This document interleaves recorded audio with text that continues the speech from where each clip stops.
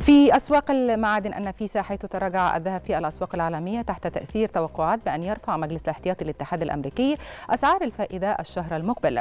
وسجلت الأوقية 1824 دولار بنسبة تراجع 1 من 10% أما على الصعيد المحلي فسجل عيار 18 685 جنيه للجرام و21 799 جنيه للجرام. في حين سجل 24 نحو 913 جنيها. وصل سعر الجنيه الذهب اليومي إلى 6392 جنيها. إلى أسواق البترول العالمية حيث تراجعت أسعار النفط بسبب ارتفاع التضخم في الولايات المتحدة فتراجعت العقود الآجلة لخام برنت بنسبة 6 من 10% إلى 90.83 دولار للبرميل. انخفض الخام الأمريكي بنسبة 5 من 10% إلى 89.43 سنتات للبرميل.